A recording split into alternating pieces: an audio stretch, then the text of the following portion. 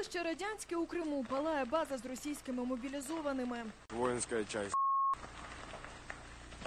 Либо что-то прилетело, либо вояки допились. За попередньою інформацією, щонайменше двоє окупантів загинули. Вот это да. Это, это гостиница? Місто Кадіївка на Луганщині. Влучний удар перетворив базу окупантів у готелі на руїни. В них там відбулася бавовна, якраз там, де був дійсно штаб вагнерівців. Вони не приховуючи там величезні в них тра- втрати, величезна кількість е, тих, хто там знаходився, вони загинули.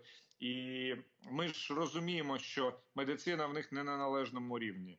Я впевнений, що з тих, хто е, кому вдалося вижити, 50% це мінімум. е, вони помруть до того, як їм е, нададуть медичну допомогу. А це вже Мелітополь. Перші хвилини після удару по готельно-ресторанному комплексу, який росіяни перетворили на казарми. Здесь такое было место красивое, все разнесло. Загарбники одразу заявили, сюди прицільно вдарили з артилерійської ракетної системи Хаймарс. Вот такая вот ребятка. Принтер еще прилетело 6 штук. Прямо по нам.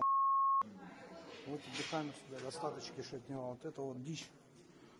Отрывает все конечности. Після удару місцеві бачили багато швидких. Поранених везли аж до Криму. В Мелитополе по отельно-ресторанному комплексу «Привал охотника» был нанесен удар, предположительно, «Хаймарсом». Спишем, как обычно, на курение в неположенных местах, где противник потерял минимум 200 человек на концерт Кобзона. Мы понимаем, что в хорошем отельно-ресторанном комплексе жили не чмобики, а кто-то из серьезных. Це лише кілька влучних ударів по ворожих цілях за останні кілька днів. Дедалі частіше в місцях, де базуються окупанти та їхня техніка, трапляється бавовна. І цьому є кілька пояснень, каже військовий експерт Олександр Мусієнко. По-перше, деокупація Херсона дозволила Збройним силам України підібратися ближче до ворожих баз, командних пунктів і штабів. збільшили дальність ураження цілий противника на лівобережжі. Раз.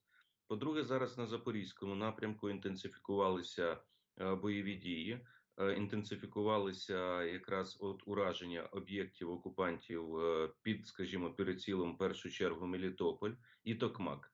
Два населених пункти. В Мелітополі розташовується е, багато військових об'єктів окупантів, серед них військовий аеродром в Мелітополі, по якому наносилися удари. Енергодар, Токмак, Молочанськ, Бердянськ. Зазвичай кожну операцію українські воїни ретельно планують, іноді по кілька тижнів. Рассказываю вам про блестящую операцию группы разведчиков сил спецопераций подразделения Бандерлоги в Запорожской области. Э, Операцию готовили почти месяц.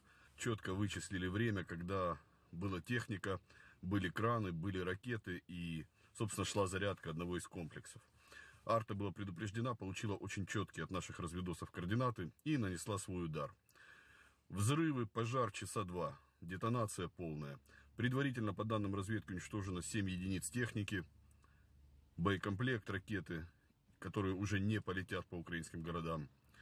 И 30 человек получили билеты на концерт Кобзона. Точність таких ударів результат злагодженої роботи військових підрозділів ЗСУ, а також учасників руху опору.